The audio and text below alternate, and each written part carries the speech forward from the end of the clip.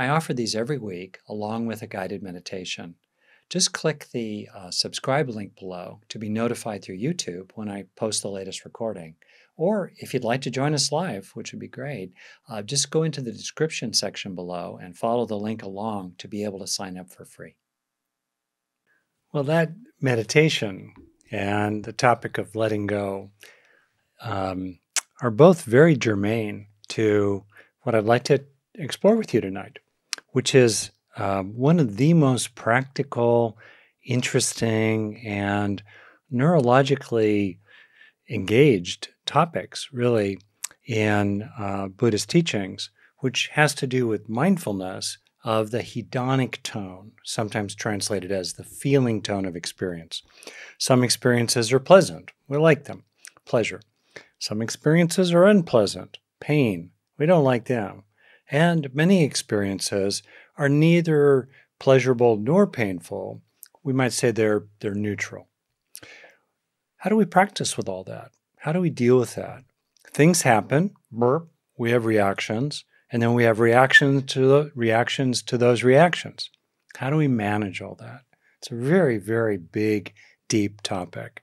And I've explored it with you previously, but I think quite a few years ago, someone uh, nudged me recently to talk about this again. So I'm going to do that. I'm going to be drawing fairly heavily on uh, Bhikkhu Analayo's real masterpiece, Satipatthana. Sati is the Pali word for mindfulness, uh, or mindfulness is the English translation, better put, uh, of the Pali word sati, whose roots etymologically, in terms of language, are in memory, recollected. When we are mindful, we are sustaining present moment, recollected awareness. We are not forgetful. We are not distracted. We are not lost in thought. Sati. And we can be mindful of the inner world. We can mind, be mindful of what's happening around us. We can focus our mindfulness into a close, concentrated attention, or we can open it wide and simply abide in open awareness in which little besides mindfulness is present. Sati, mindfulness. Patthana is typically translated as foundations. Arguably, as Gil Fronsdal points out, it would, would be better translated as establishings or the establishments. Where is mindfulness to be established? In other words, this is not so much the foundations of mindfulness, but where is mindfulness to be founded, to be grounded, to be established? There are four patthanas, the establishments, uh, that the Buddha points out.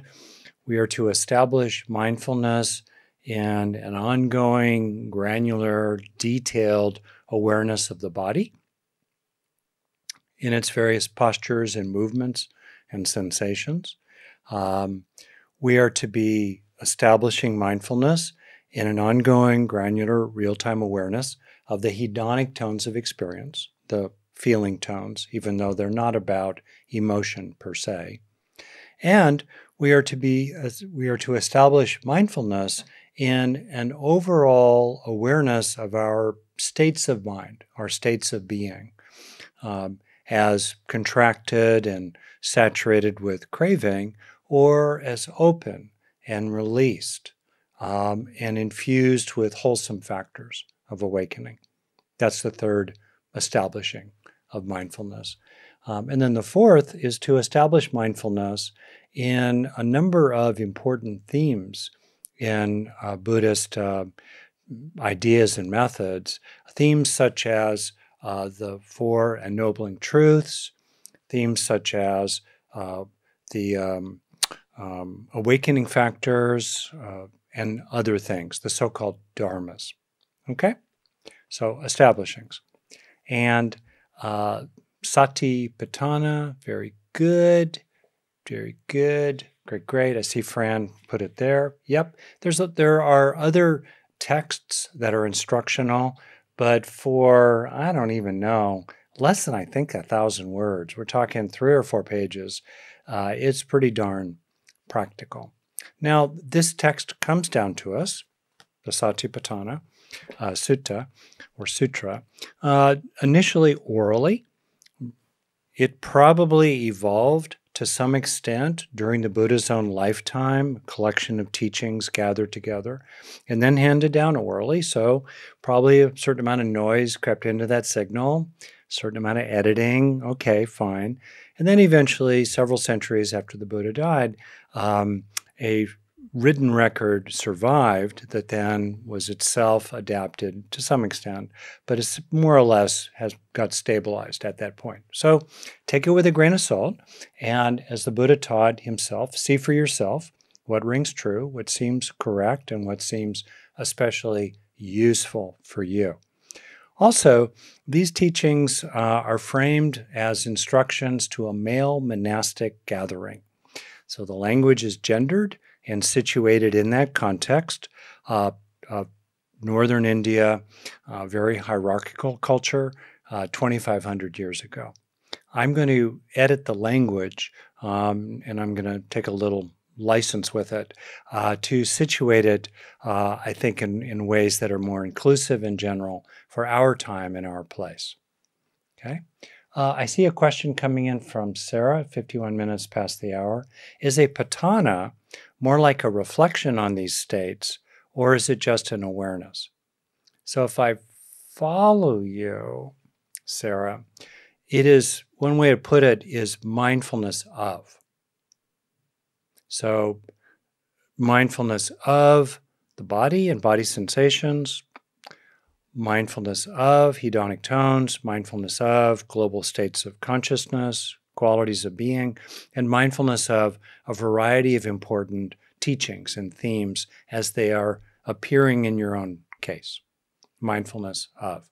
And so we another way of putting it though is this less dualistic of a witness of something is that increasingly uh, the the the stability of presence is embedded increasingly in body sensations, in hedonic tones, in overall states of consciousness. So it's kind of both of those mindfulness of and mindfulness in. Okay? So now I'm going to read a bit of um, translation, pretty consistent with other really leading translations of the Buddhist canon, including the Satipatthana Sutta. And here it goes, right? So, Thus have I heard. This is the voice of the Buddha's attendant and cousin Ananda, who apparently had an extraordinary oral memory and was essentially saying what he heard. So I kind of like that. Really puts it in a place, right? Thus have I heard. On one occasion, the Blessed One, this is the framing of the, these scriptures, uh, the Blessed One was living in the Kuru country and so forth, and then he addressed the people there. People, and I'm translating monks for people. Venerable Sir, they replied. The Buddha said this People, this is the direct path for the purification of beings, for the surmounting of sorrow and lamentation, for the disappearance of dukkha and discontent. Dukkha being the fact that some experiences are unpleasant, all pleasant experiences end eventually, and all experiences are inherently impermanent, insubstantial, la- and lacking any absolute essence or identity, and therefore being incapable of providing any sort of permanent um, happiness because they're continuously changing. Okay? Dukkha. This is the method for the disappearance of dukkha and discontent this is the direct path for acquiring the true method for the realization of Nibbana, namely the four satipatthanas. The Buddha is saying this is really important. So, what are the four? Here, people, in regard to the body, a person abides contemplating the body, diligent, clearly knowing, and mindful free from desires and discontent in regard to the world, letting go. In regard to feelings, the hedonic tones, not emotions per se. You are to contemplate feelings, diligent, clearly knowing, and mindful, free from desires and discontent in regard to the world. In regard to the mind, overall, you are to abide contemplating it, diligent, clearly knowing, and mindful, free from desires and discontent in regard to the world. In regard to these various themes, dhammas, you are to abide contemplating these themes, diligent, clearly knowing, and mindful, free from desires and discontent in regard to the world. Now, one way to relate to that teaching is yeah, yeah, yeah. right? Yeah, yeah, heard it all before. Yeah, yeah, whatever. And another way to relate to it is that pick your pick your uh, pick your metaphor. A doctor or a coach or a very trusted friend is telling you, "Hey, this is how to do it. Hey, this works. Worked for me, worked for lots of people. It's going to work for you. Give it a try and see for yourself if it works. And that, I think, is a really good way to relate to this. So we have some key words here abiding, stably, stably established, stably established in mindfulness, abiding, diligent. We bring some muscularity to it. We stick with it, persevere. We, we value it. We bring some discipline to it, diligent. Clearly knowing, not spacing out, kind of fuzzy, you know, pink cloud, soft edges. Clearly knowing, alert, perceptive, clearly knowing. And free of desires and discontent in regard to the world. That has to do with the broader project of renunciation, disengagement. Um, there may well be desires and discontent uh, in regard to the world, but they don't invade us and hijack us. We're not ruminating about them while we're doing this practice that he describes. In the core of the practice, desires and discontents related to our worldly life are not intruding. That's a way to understand that. They're not hijacking us. Okay? We're, we're doing this practice and we're training our minds in this way. So, in that frame, then, we have mindfulness of the hedonic tones, feelings. So, here we go. And how, people, should you, in regard to feelings, abide contemplating feelings, hedonic tones. Here, when a pleasant, here, when feeling a pleasant feeling, you should know, I feel a pleasant feeling. When feeling an unpleasant feeling, you should know, I feel an unpleasant feeling. When feeling a neutral feeling, you should know, I feel a neutral feeling. What's interesting is how simple the Buddha keeps making it. It's not esoteric, it's not metaphysical, no white light involved. Hey, wake up, he's telling us. When you're present, be present.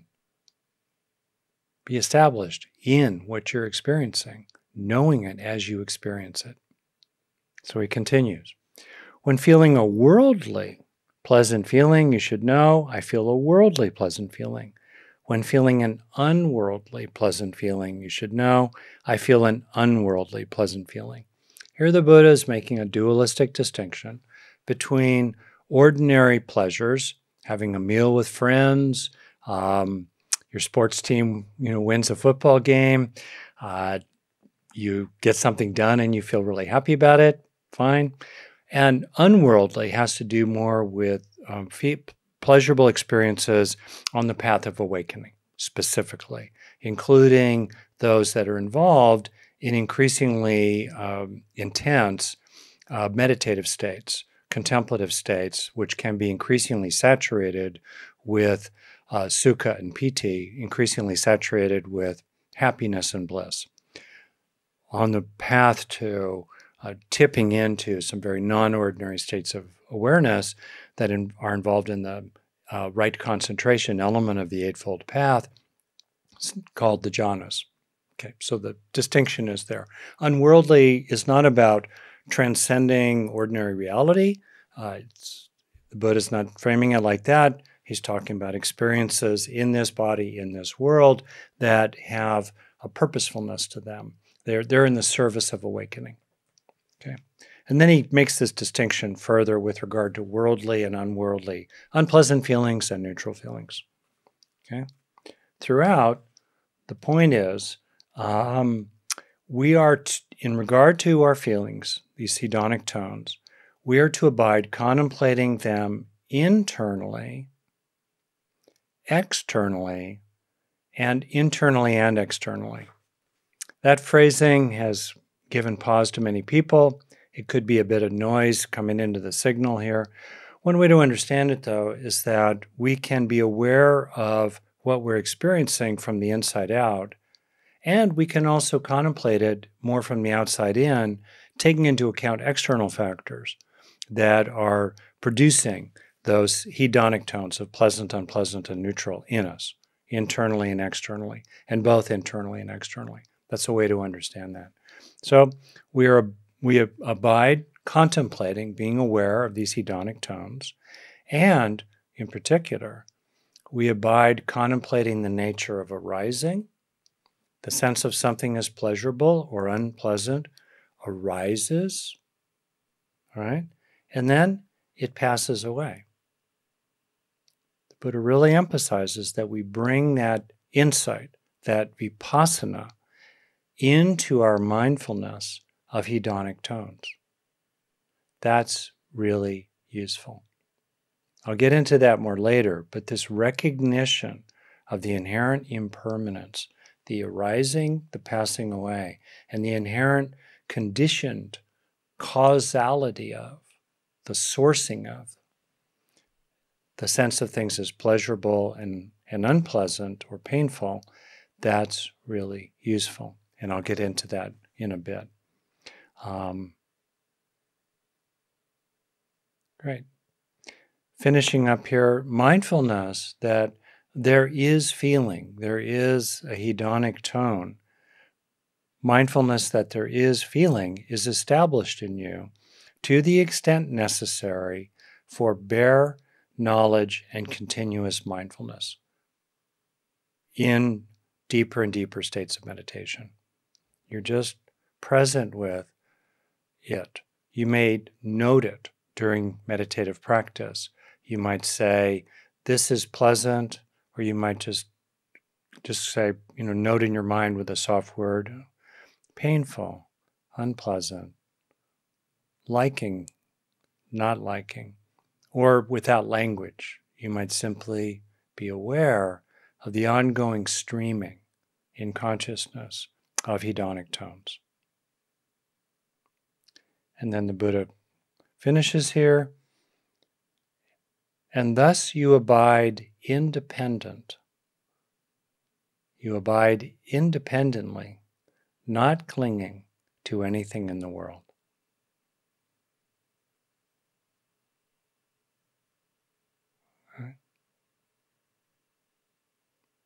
Abiding independently, not clinging to anything in the world and not clinging to uh, pleasurable experiences, not clinging to the pleasurableness of experiences, and not fighting with or running from or freezing around the painfulness, the unpleasantness of some other experiences.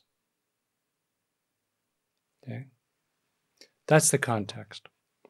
And now, just to really complicate things here, I want to talk about how all this is going down in your brain uh, based on plausible, tentative, neuroscience is a baby science, plausible accounts of what's going on in your brain.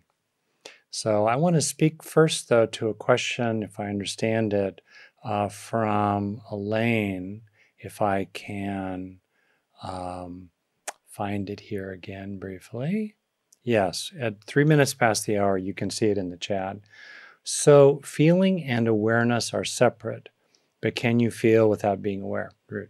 So, uh, let's get all get linguistically murky. Try to keep it simple in this model that I'm sharing here that makes sense to me from the inside and the outside. Um, there, we there is awareness. We are aware of things, um, and we can be aware of the fact that there's a pleasantness or an unpleasantness. There's a pleasureness, an enjoyability, a likability to certain experiences, um, a dislikability to others. Sometimes they're mixed together, like in hot sauce, you know, on your taco. Uh, and we can be aware of that. So we're aware of that. We're mindful of that. Um, so they're distinct. There is awareness and there's awareness of. Okay. Can we have um, hedonic experiences without being conscious?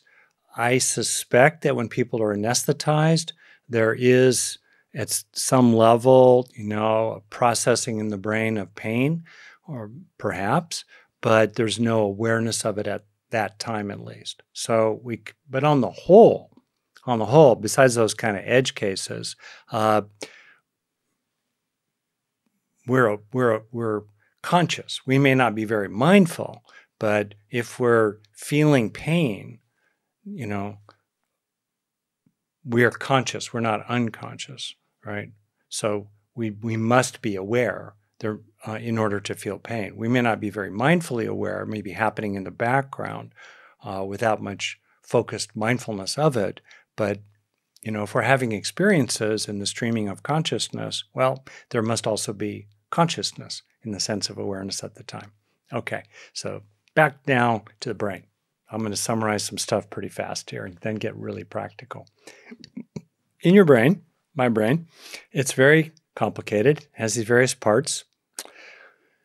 The various parts often cluster together functionally and but the best way to understand this is not so much in terms of the parts of the brain that are involved, but in terms of uh, their functional relationships with each other. That said, uh, we have three major networks that are relevant here. One network is called the salience network. It's tracking the relevance of things. That which is really pleasurable or really painful or might be painful, that's very relevant. Stuff that's neither pleasurable nor painful, not so relevant. Uh, so basically, the amygdala, there are two of them, hippocampus, two of those, um, probably the basal ganglia also in the mix, deep in the subcortex in the brain, guided to some extent by other parts of the brain. They're tracking the relevance, the salience of what you're experiencing. And if something is relevant, salient, uh, then that network signals uh, the what's called task positive network, the more of the executive functions of the brain. Hey, something matters. We better do something about it. So then we have the so called task positive network, more in the foreground of the prefrontal cortex, drawing on portions to the side, to some extent, drawing on um, other parts of your brain. I should have added that the insula is often also involved in the salience network as it tracks the internal state of your body. So the task positive network, the executive functions related to that, they get engaged.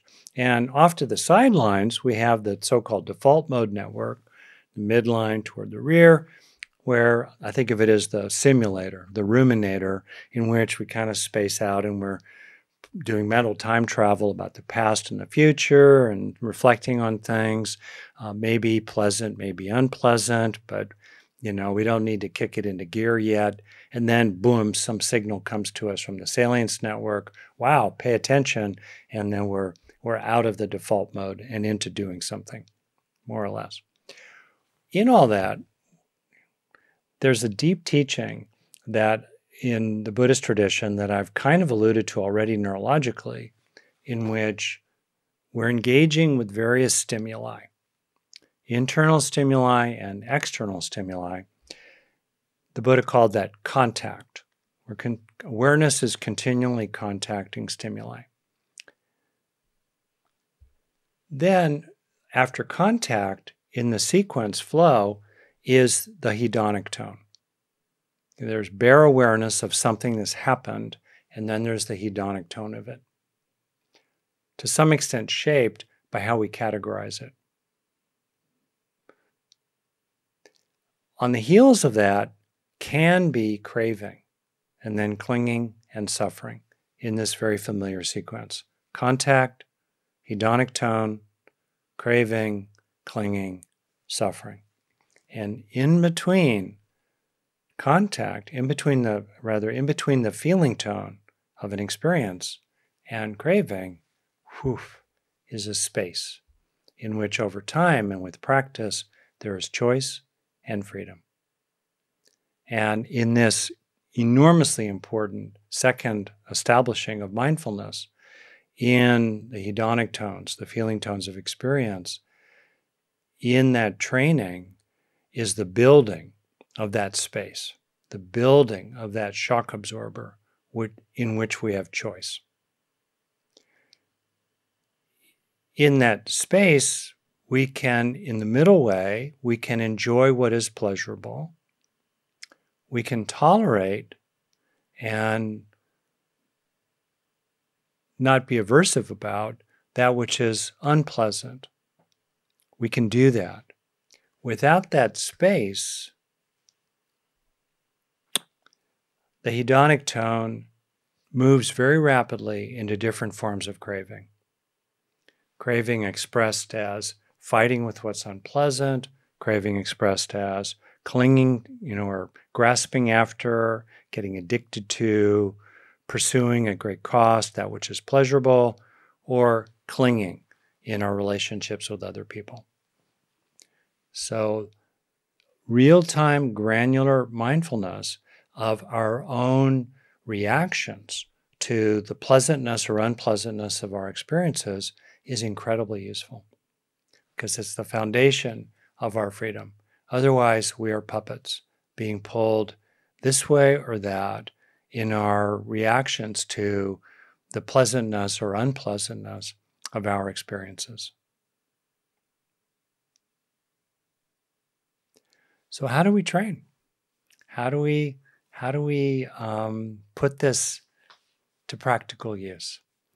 So, first of all, um, by being mindful of the kind of ongoing sequence of like this, dislike that, and then what? That helps us become more at choice and more in freedom.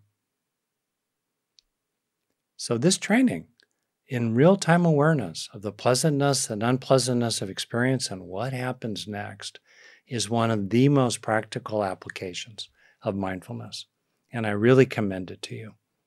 If there's something that would be a service in practice in very psychological terms, it's to be really aware of what happens when you find yourself liking an experience.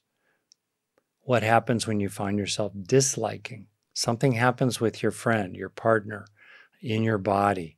You don't like it, it's unpleasant. Maybe it's scary. Maybe it hurts. Maybe you feel hurt by what somebody did. Okay, there it is. Then what? Incredibly useful. Then what? Okay?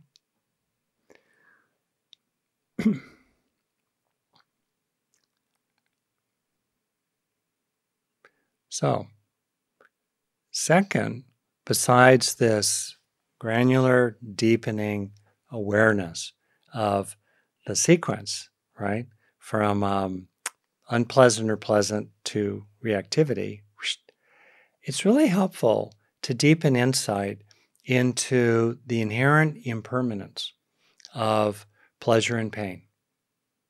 Now, pain may have a chronic quality to it.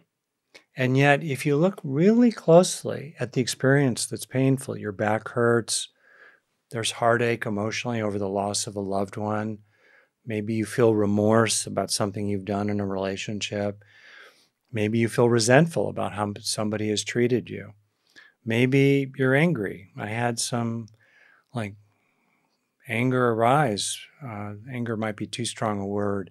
Earlier today, when someone um, repeatedly uh, did something improper in kind of in my business world, uh, you know, can we recognize the inherent impermanence of what is painful? Or as I was saying, even when it the feeling sticks around, you look at the parts of it and they're vibrating, they're dynamic, they're changing. We tend to ossify, we tend to cement, concretize, reify, blah, blah, essentialize, blah, blah. I'm searching for a simpler word. We tend to like thingify, my friend Daniel Ellenberg's term. We tend to thingify our pleasures and pains and turn them into objects to be fought with or grasped and possessed. And the Buddha's counsel is to know, recognize their impermanence. Think of them as clouds in the sky of awareness, coming and going. And develop over time greater disenchantment and detachment from pleasures and pains, per se. They're okay. The middle way, enjoy your pleasures, cope with your pains without adding a lot of stuff to it. Third, the Buddha talks about uprooting our latent tendencies toward um, the traditional word is lust. I think I'll use desire in the problematic sense. Um, greediness, you know, for pleasures, I'll use that word. Or our latent tendencies toward um, irritation, irritability, or anxiety. Or our latent tendencies towards spacing out when it's neutral, dissociating, just going away if it's not compelling, getting bored really quickly if it's just neutral and needing something to happen, even if it's annoying. Um, so, where do these latent tendencies come from? This is, and what do we do about them? Now, this is the territory, for example, of trauma. Trauma, life experiences. The brain is designed to learn from its experiences, especially painful ones. Also, these latent tendencies can be located externally in our environment, society. If the world is continually picking on you for real, mistreating you, well, yeah, you're going to develop latent tendencies toward freezing in the face of that overwhelming mistreatment or anger or tendencies to be anxious about it. Um, and also, if your body is sick or you know is uh, inclined toward depressed mood or has chronic pain that understandably makes a person kind of irritable and exasperated and prickly or if you have an understandable fear of worsening you they you know you're not anxious as long as you stay inside your very small window of tolerance well of course those latent tendencies are going to be at work. There's no discussion of trauma that I can find in the Pali Canon, the early teachings of the Buddha. Maybe there is, and how to deal with it. Maybe there is some that, you know, other people like Jim French can find out for us or other folks uh, who are scholarly here.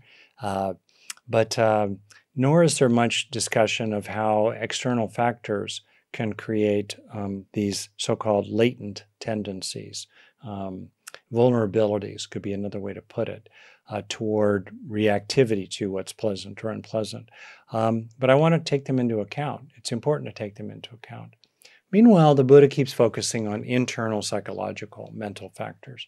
So one thing we can kind of look at in our inquiry this is where I think a lot of modern psychotherapeutic methods, including those from Asia, there's a lot of fantastic therapeutic methods coming out of that have come out of Japan and other non-Western cultures, uh, as well as obviously the tremendously wise and practical teachings uh, that are indigenous, First First Nations people around the world. We can draw on these and to apply them to our own latent tendencies.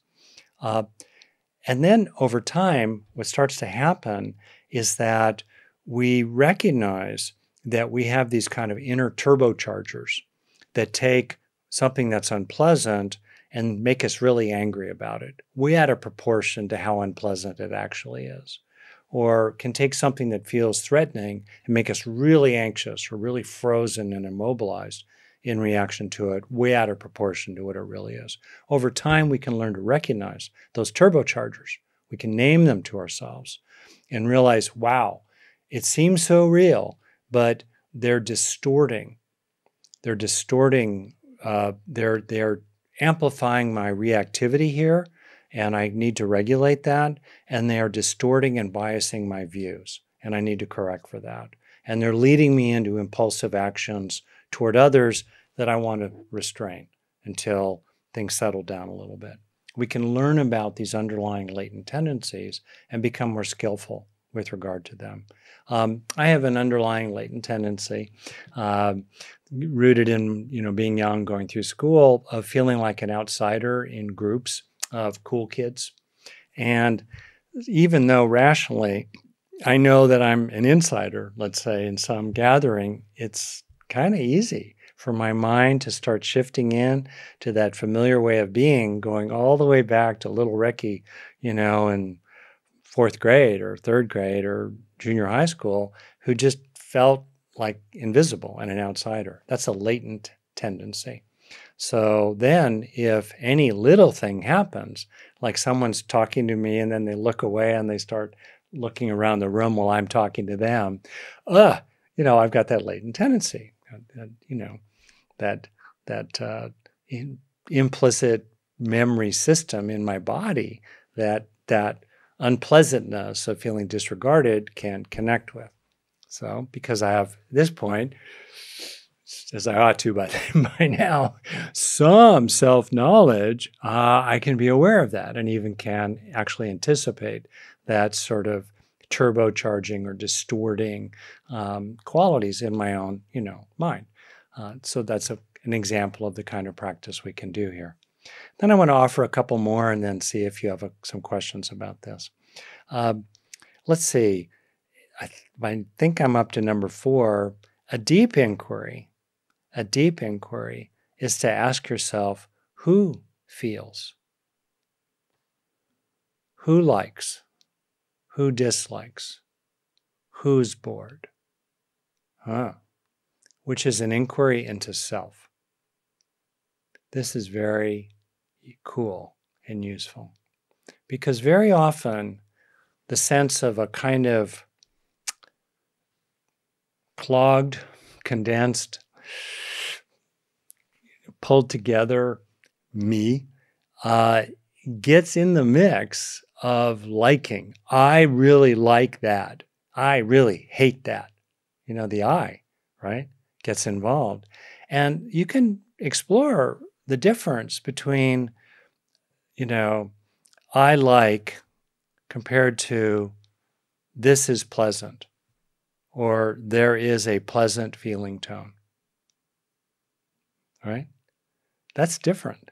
Or you can compare, I hate that, or I'm scared of that, contrasted to, oh, that hurts, or that's unpleasant, or oh, that's threatening. It's really different. So it's a deep inquiry. And notice how often we um, self, we, pers- we, we take personally uh, that which is um, pleasant or unpleasant, or we claim it as our own, right? And then we get involved with it, we identify with it, we want to possess it, we want to maintain it, we want to keep becoming it. That whole project starts unfolding. So, this inquiry who feels, who likes, who dislikes, who's bored. That's really useful. And then last, um, as Bhikkhu Analayo puts it, we can decondition over time with practice our hedonic tones at their source as they initially arise. So, as we get closer and closer to the real time of that movement in often less than a second from stimulus to hedonic tone, contact to feeling. As we become more aware there and we start recognizing the impermanent, insubstantial, empty, um, unowned, unowned nature of pleasures and pains they become kind of liberated as they arise, and we don't crystallize opinions around them. We don't crystallize viewpoints around them. They simply are. They keep unfolding. On the other side of enlightenment, the Buddha still experienced pain. He still experienced joy. Uh, he still experienced pleasure.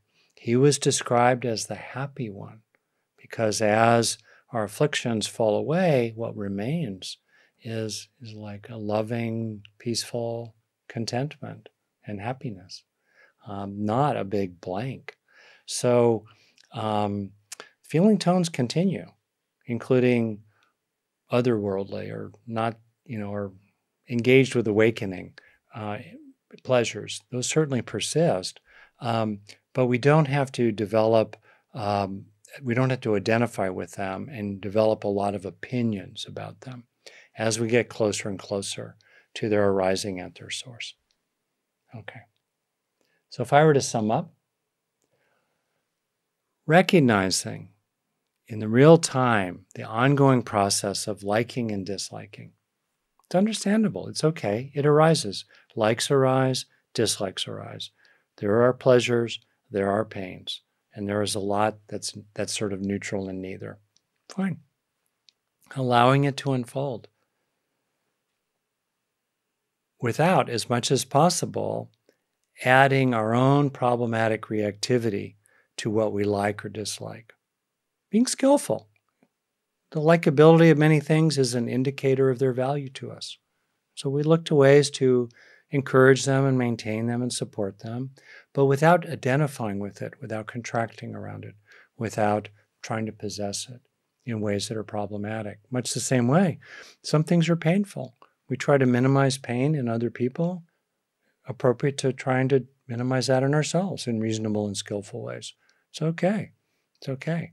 When I go on retreat, you know, if I'm having a headache that's getting in the way of my meditation because I haven't had any coffee, Advil, yes, skillful means no shame, at least for me. Um, so we, you know, we do skillful things, right? Yeah. But that's really different from getting angry because we're sad or building a case against other people uh, and really getting caught up in our opinions about it all and our righteousness about it all because they um, they let us down, uh, as someone let me down earlier today.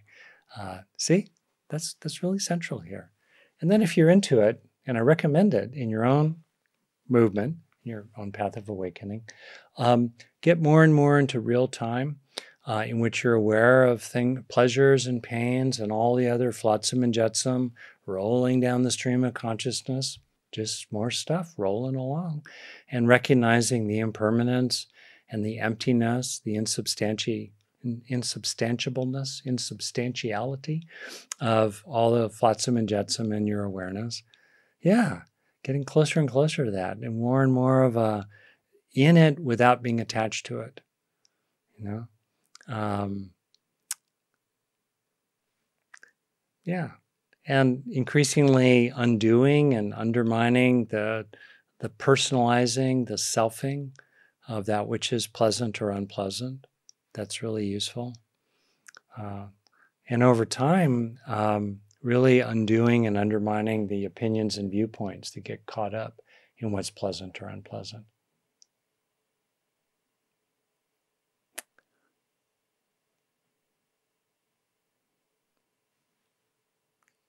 You really think about so many fundamental teachings of the Buddha, they're really contained in this inquiry that we've been engaged in here. And um, I'll just finish, I think, and I won't have time for questions, I think, tonight. But I just want to finish by with a kind of a personal note, which is that as I um, talk about this and feel it in myself. And I just recognize in myself how vulnerable we are. You know, we're designed that sequence contact, feeling, craving, clinging. We're just suffering.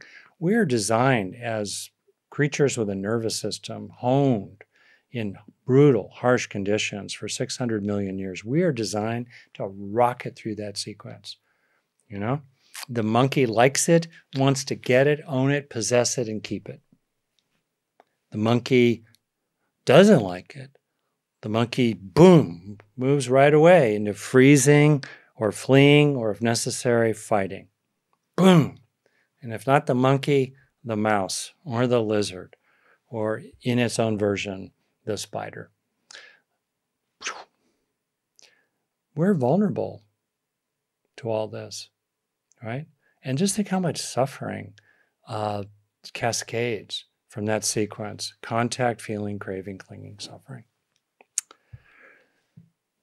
So it takes diligence, as the Buddha taught in his opening refrain to the Satipatthana uh, Sutra. Uh, it takes diligence to practice with this. And also, this is the part where I'm speaking really in my own reflection here. It really behooves us to recognize how vulnerable other people are to that sequence. And to cut them some slack. Because they're not enlightened yet, you know? They get caught up, they get sucked down that path really fast, just like we're biologically designed to. They get reactive to words we use and things we do and and my point about this is just to suggest for ourselves to tread more lightly on others you know tread more lightly in this world and you know have some spaciousness and understanding for the vulnerability of others to that sequence that moves from contact to feeling to to craving to clinging to suffering and to tread lightly on them to the extent we reasonably can. To the extent we reasonably can, not get caught up in manipulating their desires uh, or intimidating their fears, uh, you know, the better, the better. Uh, yeah. And I think there, there's a place for a kind of reassurance that we kind of radiate a field of reassurance as we move through the world. It's been something that's been a real domain of practice for me in the last really many years. An appropriate, not obsequious, not walking on eggshells, not placating, but a field of reassurance. You know, the Buddha teaches uh, to to radiate a quality that says, "I come in peace." Right? Um, I'm not here to hurt you. Uh, I come in goodwill. I come in good faith. I'm going to protect my interests. I'm going to take care of those I care about, um, which can be a very, very big circle but I'm not here to hurt you or harm you. You know, radiating that kind of reassuring, that can help to reduce the reactivity um, that others are vulnerable to uh, in their own reactions to what feels good or what doesn't feel so good. I just kind of wanted to leave that as a as a finishing thought for you.